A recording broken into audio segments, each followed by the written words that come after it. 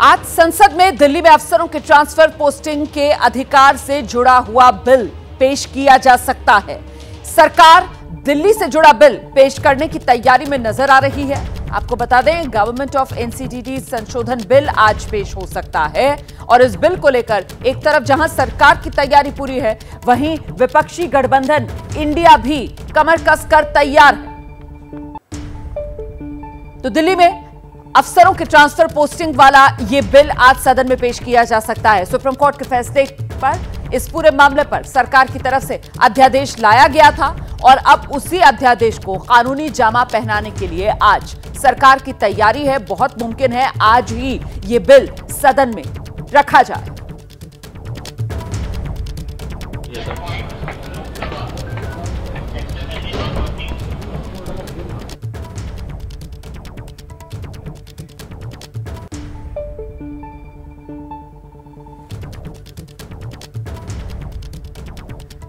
तो आज पेश हो सकता है दिल्ली से जुड़ा यह बिल। अफसरों की ट्रांसफ़र पोस्टिंग वाला यह बिल है। सुप्रीम कोर्ट ने फैसला सुनाया था। अफसरों की ट्रांसफ़र पोस्टिंग की ज़िम्मेदारी तय करने का हक दिल्ली सरकार को दिया था। उसी को पलटते हुए केंद्र सरकार की तरफ़ से अध्यादेश लाया गया था। और जैसा कि नियम है, अध्यादेश लाया जाता है और जैसे ही सदन का सत्र शुरू होता है तो फिर उसे कानून के तौर पर सदन से पास कराना होता है। उसी के तहत सरकार अध्यादेश को कानूनी जामा पहनाने के लिए बिल के रूप में सदन में रखने की तैयारी में और बहुत मुमकिन कि आज ही इस बिल को सदन में रखा जाए।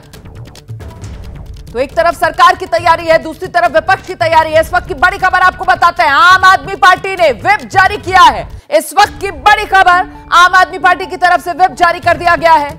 अपने सभी राज्यसभा सांसदों के लिए आम आदमी पार्टी ने व्हिप जारी किया है। 31 जुलाई से लेकर 4 अगस्त तक सदन में मौजूद रहे। ये विप में कहा गया है। 31 जुलाई से लेकर 4 अगस्त मतलब ये पूरा हफ़्ता। आज 31 जुलाई की तारीख है, सोमवार है, और 4 अगस्त मतलब शुक्रवार तक। इस पूरे हफ़्ते अपने राज्यसभा सांसदों को सदन में मौजूद रहने के लिए विप आम आदमी पार्टी की तरफ़ से जारी कर दिया गया है।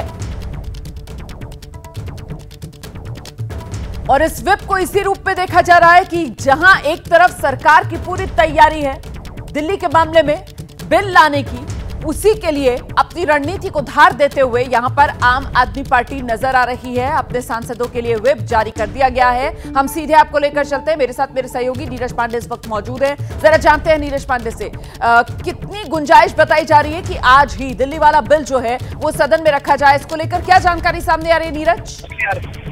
रोमाना, देखिए, मैं, मेरी जो जानकारी है उसके अनुसार जो हमारे सोर्सेज बता रहे हैं, दिल्ली का बिल आज ही पार्लियामेंट में पेश किया जाएगा, लोकसभा में पेश किया जाएगा। ये अलग बात है कि बिज़नेस एडवाइस जो आज लिस्ट ऑफ़ बिज़नेस है, उसमें आज ये बिल लिस्ट नहीं किया गया है, लेकिन इसके बावजूद सरकार इसको इंट्रोड्यूस कर सकती है, क्योंकि नियम है स्पेशल मेंशन करा सकती है, संसदीय कार्य मंत्री के ज़रिए इसे लिस्ट करा सकती है, और किसी भी समय इस पर चर्चा हो सकती है। तो ये माना जा रहा है कि आज क्वेश्चन आवर खत्म होने के बाद किसी भी समय दिल्ली से जुड़ा जो बिल है उसको पेश किया जा सकता है उसको इंट्रोड्यूस किया जा सकता है। जी रोमाना। नीरज आप रहिए मेरे साथ और इस बीच आपको बताते हैं गृह मंत्री अमित शाह आज जब संसद भवन परिसर पहुँचे तो वहाँ पर रिपोर्टर्स का जमावड़ा था और उनसे जब दिल्ली वाले इस बिल को लेकर सवाल पूछा गया तो उनकी तरफ़ से क्या कहा गया? जरा ये सुनिए पहले। दिल्ली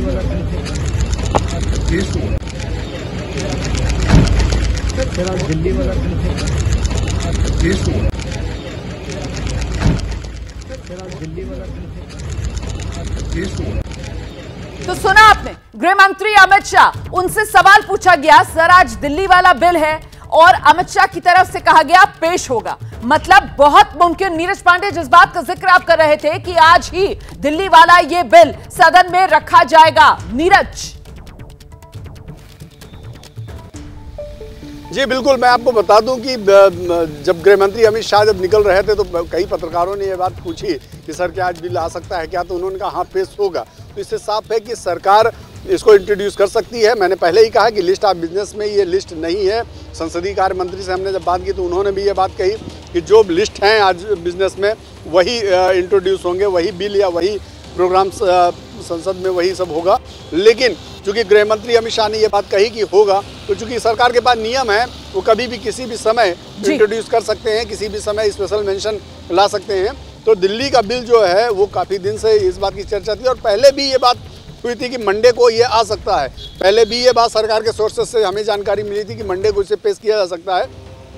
तो किसी भी समय आज इसको इंट्रोड्यूस किया जा सकता है तो इस बार तैयारी पूरी नज़र आ रही है कि बहुत मुमकिन तो आज ही दिल्ली वाला ये बिल जो है वो पेश हो जाए। इसके संकेत कहीं ना कहीं गृहमंत्री अमित शाह के इस जवाब से भी मिलते हैं जब उनसे सवाल पूछा जाता है कि सर दिल्ली वाला बिल तो उनकी तरफ़ से कहा जाता है पेश होगा। और शायद यही वजह है कि विपक्ष भी अपनी रणनीति को इस बिल के विरोध में धार देता हुआ नज़र आ रहा है। नीरज पांडे आम आदमी पार्टी की तरफ़ से इकतीस जुलाई से लेकर चार अगस्त तक अपने राज्यसभा सांसदों को सदन में मौजूद रहने के लिए विप जारी कर दिया है और कहीं ना कहीं यह विपक्ष के इंडिया गठबंधन का सबसे पहला टेस्ट साबित होने वाला है, नीरज। ये कह सकते हैं, ये एक लिटमस टेस्ट भी है, क्योंकि अगर आपने अविश्वास प्रस्ताव लाया है और एक बहुत महत्वपूर्ण बिल सामने आ रहा है तो इसी में पता चल जाएगा कि सरकार के पास समर्थन है, मत है कि नहीं मत है। उनके पास विश्वास है कि नहीं। तो अविश्वास प्रस्ताव का एक तरह से कह सकते हैं कि सेमी परीक्षण तो आज ही हो जाएगा अगर ये बिल इंट्रोड्यूस होता, क्योंकि विपक्ष की पूरी रणनीति ये होगी कि इस पर विरोध किया जाए अपनी संख्या बल दिखाई जाए, लेकिन वास्तव अगर देखा जाए, वास्तविकता ये है कि विपक्ष के पास संख्या बल है नहीं, सरकार बिल्कुल अब्सल्यूट मेजोरिटी में है और सरकार के पास सहयोगी दलों का भी बहुत भरपूर सहयोग है। तो ये कह सकते हैं कि सरकार टू थर्ड मेजोरिटी के साथ लोकसभा में अपना बहुमत सिद्ध कर देगी। और आज जब ये बिल पेश होगा तो उस समय विपक्ष भले कुछ हल्ला करे लेकिन बिल के समय ये पता चल जाएगा कि अविश्वास प्रस्ताव की असली तस्वीर क्या होने वाली है। आप रहिए मेरे साथ में लौटूँगे आपके पास। पत्रकारिता कोई इमोशन नहीं है। ना अपना कोई ज्ञान देना है और ना कोई विचार थोपना है। पत्रकारिता क्या है? पत्रकारिता का मतलब है सही जानकारी इकट्ठा करना और तथ्य बताना। पत्रकारिता आज जितने महत्वपूर्ण दौर में है, शायद पहले नहीं थी। इस दौर से निकलने के लिए सिर्फ़ सच दिखाने की ज़रूरत है। वो सच जो आपके हित को आगे रखे। इसलिए अब रात नौ बजे प्राइम टाइम नहीं होगा। ये आपका टाइम जगविंदर पटियाल के साथ देखिए पब्लिक इंटरेस्ट। 17 जुलाई से सोमवार से शुक्रवार रात 9 बजे सिर्फ़ एबीपी न्यूज़ पर। एबीपी न्यूज़ आपको रखे आगे।